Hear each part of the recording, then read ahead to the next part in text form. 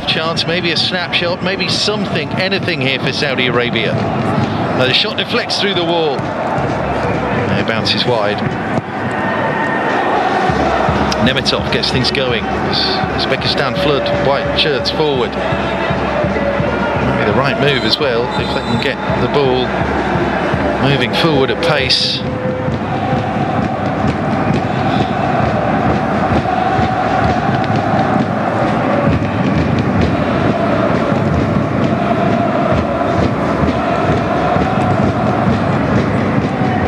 Just thought that flicked off the, the leg there, but no, not quite. It's not one of Yaya's uh, better attempts, that, I'm afraid.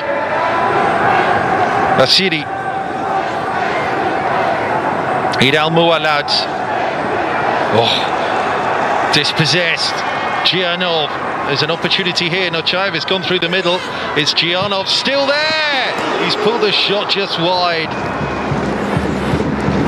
Almost a second goal right at the end of the first half for Uzbekistan. Again, they're hungry and they're determined to capitalise on any Saudi Arabian error. He had different options. Third, fourth place playoff. Final will be a week tonight.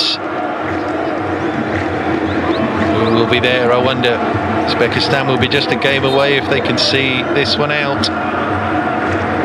Of course, that Olympic qualification. Yaya. Overlap. Cross clearance. Not a good one though. Al Ghamdi. Well, they have at least had a shot now, so getting more and more into this. Taken until eight minutes into the second half, Faisal Al Ghamdi looking to replicate the scoring heroics of the AFC Asian Cup in this part of the world earlier this year. He scored against Kyrgyzstan. For Ittihad, uh, plenty of second goal of the tournament. And at the moment, it's sending Uzbekistan through to another semi-final. Oh, the snapshot, he lunged at it a little there, didn't he? Ahmed Al Ghamdi, good chance that. Will they get too many more like that? First forward combination play, really, a series knockdown from the ball slung in central. The AFC Asian Under 23 Cup coming to an end. Uzbekistan looking for a third goal. Saudi Arabia increasingly stretched. Yildiv Shut up for the fullback.